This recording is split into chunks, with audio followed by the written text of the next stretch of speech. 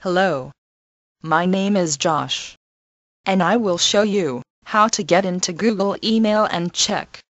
After you turn on your computer and log on to your computer, the first thing that you will see is a background like this.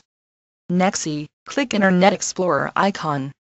If you don't have the icon, you can also look for it under System Trays or in the Start menu. It will take a few seconds for Internet to pop up.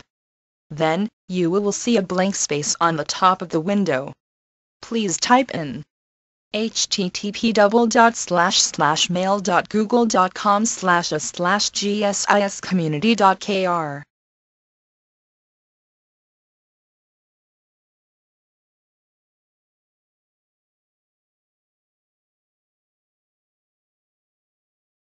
Then, there should be a login page.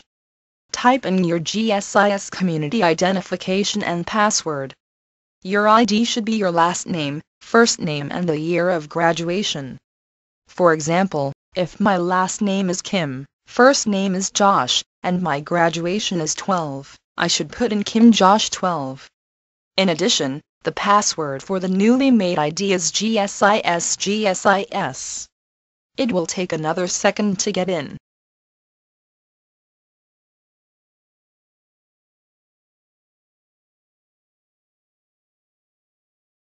If you get into the Google email, click Inbox to look for emails that you received in past. Click the title of the one that you want to read. There you go. The email. You will use the same or very similar technique to get into any other email sites. I hope it helped. Thank you.